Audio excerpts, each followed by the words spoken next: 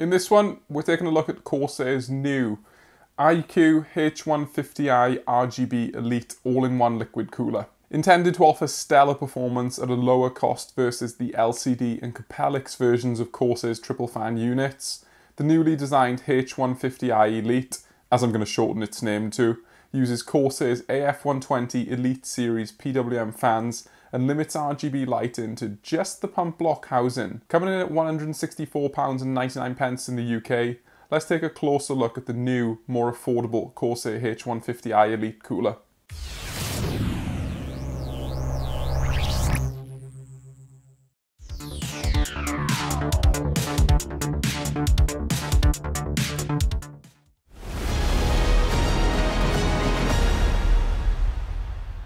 Corsair uses a conventional 27mm thick black aluminium 360mm radiator. The low permeation rubber black sleeve tubes have a reasonable degree of flexibility to them.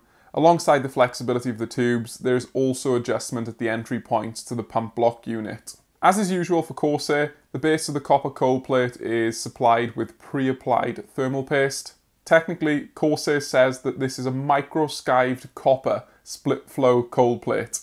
Basically, that's a fancy way of saying how the cooler is manufactured with regards to the cold plate and how the fins work. Sizing of the contact area is reasonable, and that's critical because Corsair offers support for all modern Intel and AMD sockets, including AM5, LGA 1700, and Threadripper. One of the areas of refinement for Corsair's design has been on the pump. The new design features 16 individually addressable RGB LEDs which diffuse into an all-around housing.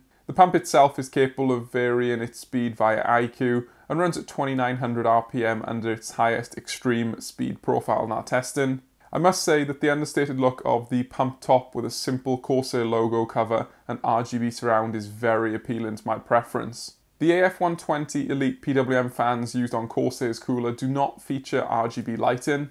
Instead, it's the pump that covers LED duties. The 120mm fluid dynamic bearing blowers operate at 400 to 1850 RPM, but they also support a 0 RPM mode. Corsair highlights the use of anti-vortex vanes to better concentrate airflow. I must say that I appreciate the relative lack of cables for Corsair's fans. There's no fancy proprietary connection or ARGB cables, just a simple 4-pin PWM. And the units themselves look pretty good too, particularly if you aren't fussed by RGB lighting. Corsair's approach for cable connectivity is absolutely superb, as we have come to expect from the vendor. A single discrete USB-C cable connects to the pump block unit. This then provides all the necessary connectivity behind the motherboard tray for the fans, the RGB lighting and the iCUE link. So basically, you only have to sprawl a single cable across the motherboard socket area. That's fantastic. Plus, it uses a convenient Type-C connector rather than micro USB iCUE handles control for basically the entire CPU cooler. You can mess with the various RGB lighting options for the pump housing, including synchronization with other Corsair components such as memory, and hardware lighting for prior to iCUE initialization such as during system boot is also available. You can set fan and pump speed with a high degree of adjustment, particularly for the fan speed curves, and I like the fact that Corsair includes temperature data for the all-in-one cooler's liquid, as this is another useful metric when assessing your cooling setup. Overall, there's nothing bad to say about iCUE, as has been the case for quite a while. Yes, it's certainly not a lightweight solution these days, but it is feature heavy and it does work very well. And with regards to the warranty for this £164.99 CPU cooler, that's five years, which is exactly what we'd expect at this price point. Installation of the entire cooler is very easy, even as far along as connecting the cables. You install the relevant standoffs on the default AMD backplate. After switching out the Intel cold plate brackets to the AMD ones, the block and its pre-applied thermal paste can be mounted. Then the radiator and fans are mounted. And finally, one can connect the USB-C cable to the pump block housing and connect all the relevant cables, including internal USB 2. The mounting process is quick, it's very secure, and the cable management is clean.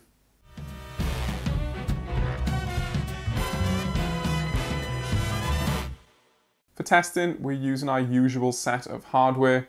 That's an AMD Ryzen 9 5950X processor overclocked to 4.45 GHz with a BIOS set voltage of 1.3 volts, so that's in excess of 220 watts of package power. We also test with the chip in Precision Boost Overdrive mode to see how the cooler handles that. The motherboard is a Gigabyte B550 Aorus Master with its excellent VRM setup. We use the Seasonic TX1000 1kW power supply for clean juice. We've got a Gigabyte RTX 2060 Super graphics card in 0 decibel mode, and the chassis is a Fractal Design Meshify 2 with triple 140mm fans, two as intake and one as rear exhaust. For the test procedure, we use a 30 minute looped run of Cinebench R23 NT and we record the steady state temperature towards the end of that 30 minute run. The ambient conditions are held around about 22 to 24 degrees Celsius, and where they vary slightly outside of this window, we will add in additional tests just to ensure validity of the data. As always, if you want more details on the comparison coolers, the test procedures, and all that information,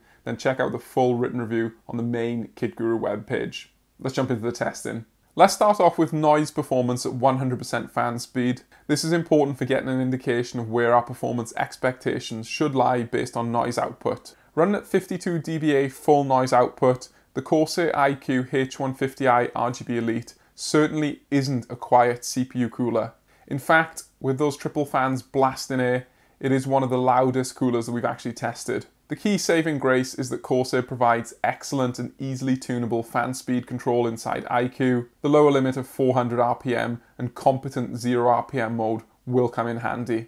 As we often see, high noise output is not very appealing for one's ears, but it does bring with it strong cooling performance from the Corsair H150i RGB Elite. A delta temperature of 58 degrees Celsius on our overclocked Ryzen 9 5950X is strong. This puts Corsair up against some other 360mm all-in-ones, notably the Asetek MSI Meg Core Liquid S360. With that said, Corsair's unit is far more expensive than the Fractal and Deepcool 360mm all-in-ones that it is matching, so you're probably going to have to put a hefty premium on the value of Corsair's warranty, design and ecosystem for the pricing to make sense. We adjust each cooler's fan speeds until our 40 dBA noise output target is reached. Despite high 100% fan speed noise levels, we only have to reduce the fan's duty cycles to 70% to achieve our 40 dBA target. Interestingly, this resulted in a recorded speed of 1320 RPM according to iCUE. The pump was maintained at 2900 RPM, though there is plenty of flexibility for adjusting its speed within the Corsair software. The reduction in fan speed duty cycle is less significant on the Corsair H150i RGB Elite than with some competing coolers, but the new 360mm unit still gets hit hard by the reduction to 1320 RPM fans.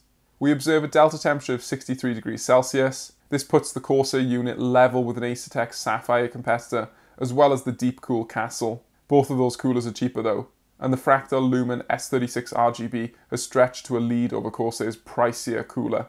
I'd say that these 40 dBA thermal results are okay, but not outstanding for Corsair. Next up is the Precision Boost Overdrive set of results. Firstly, it's critical to note that small differences in the displayed delta temperatures are not as important for our PBO testing because the clock speed and cooling power achieved are more important metrics. PBO sees the H150i RGB Elite fall in roughly in line with the rest of its performance showing, Corsair's new cooler is a bit better than the Deepcool Castle 360EX and the Fractal Lumen S36, but some of the Asetek big boys will manage to squeeze out another few clicks of the core ratio multiplier. And VRM cooling is uninspiring, as we expect from a typical all-in-one liquid cooler. In fact, Corsair's air guide technology on the fans should mean that the flow of air is more focused through the radiator and therefore is less likely to interact with the VRM area so I guess the cooler is doing its job based on this set of results. The iCUE H150i RGB Elite is a positive new addition to Corsair's vast array of liquid coolers. The real focus point here is clearly the inclusion of the company's new AF Elite series fans, and the sizable LED housing design on the pump block cover is the other differentiating feature. Performance from the cooler is as good as we would expect from a 360mm all-in-one. While the H150i RGB Elite wasn't quite as proficient as the top runners in our charts, that was largely due to lower RPM fans, and a good enough showing was put in against two competent triple fan AIOs from Fractal and Deepcool. With that said, the 100% fan speed noise output is higher than we would expect from a cooler with a set of 1850 RPM fans, the 40 dBA noise normalized performance data, which is once again behind the lead in pack, also backs up that point. I guess the key saving grace here is that Corsair's fan speed control and customization within iCUE is absolutely fantastic. And talking of iCUE,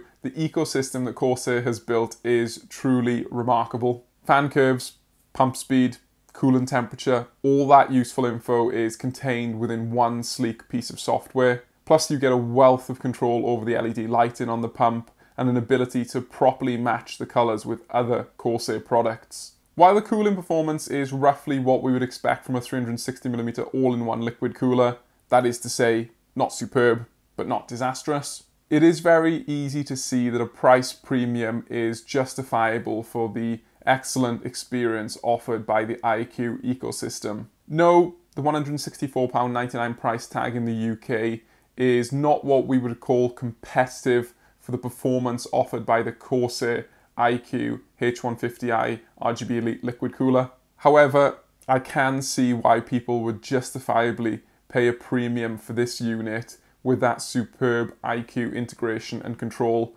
as well as the really cool pump housing design with RGB lighting. So yeah, if you're already within that Corsair iCUE ecosystem, this probably is one that will appeal to you.